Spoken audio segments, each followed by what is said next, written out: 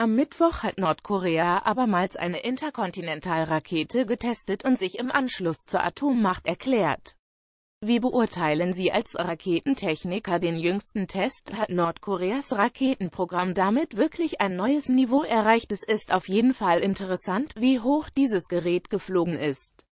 Was wir bis jetzt aber noch gar nicht wissen, ist, was da genau flog. Handelt es sich um eine neue Rakete vom Typ HWA-Songs 15 oder war es eine, die wir schon im Juli gesehen haben? Nordkorea hat bisher eigentlich immer das gezeigt, was es zuvor angekündigt hatte. Ob das auch dieses Mal gilt, können wir aber erst beurteilen, wenn wir Fotos haben.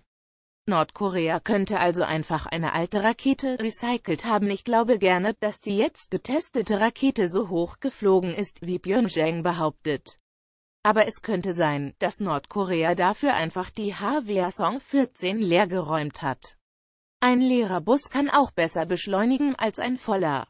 Wenn vorne in der Raketennase nichts drin ist, ist es keine große Kunst, mit der HWA-SAW 14 eine Distanz von 10.000 Kilometern zu überwinden.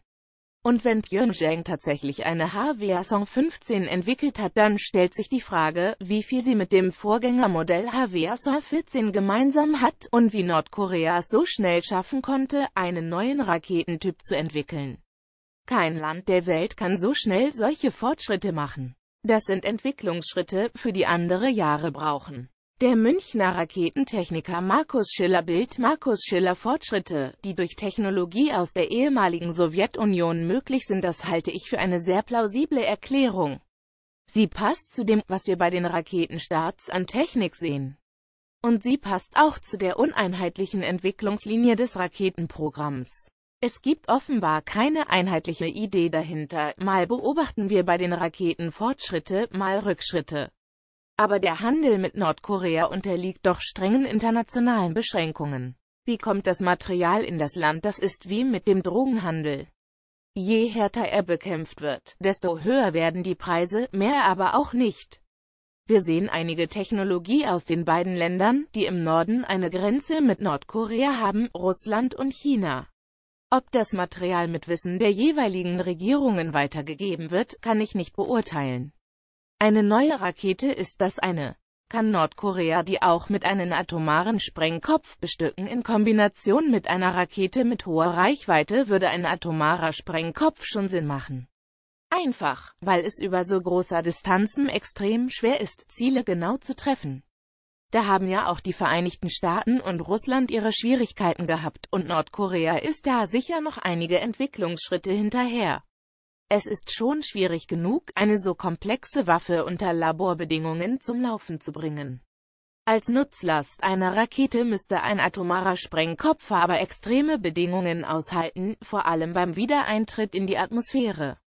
Dass Nordkorea schon so weit ist, halte ich für unwahrscheinlich. Die Gefahr für die Vereinigten Staaten ist mit dem neuen Test also nicht größer geworden, das lässt sich zum jetzigen Zeitpunkt nicht seriös beurteilen. Das ist allerdings auch zweitrangig.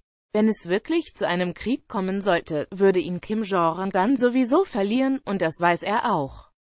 Es geht ihm darum, von der internationalen Politik als gefährlich wahrgenommen zu werden und zu zeigen, wie viele Möglichkeiten dem Land zur Verfügung stehen.